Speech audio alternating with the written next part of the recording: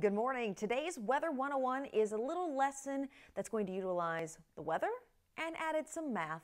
Yes, teachers, you are welcome. Happy to add a little extra math to the kids' day. So we can utilize thunder and lightning to figure out just how far away that storm is from your particular location. And the reason this is possible is because light and sound travel at different speeds.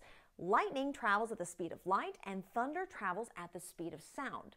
The speed of sound is the one that is slower. So by taking that kind of delayed difference between the two and dividing by a magic number, we can figure out just how far away that thunderstorm actually is from your location. So this is what you would need to do. Either have a stopwatch or utilize a stopwatch on an iPhone or use the old one Mississippi, two Mississippi, three Mississippi method. Oh yes, it's tried and true.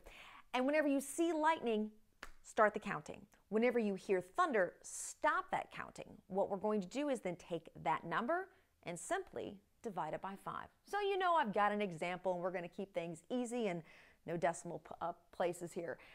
So the example is the difference that we heard between the sight of the lightning and the sound of the thunder was 20 seconds. So 20 divided by 5 would give us a distance of 4 miles away. And if a thunderstorm is only 4 miles away, well, you should be inside. Lightning is too close at that point, and it's only going to be, you know, depending on the speed of the storm, a few minutes until that actually arrives to your location. So it's a really simple math problem.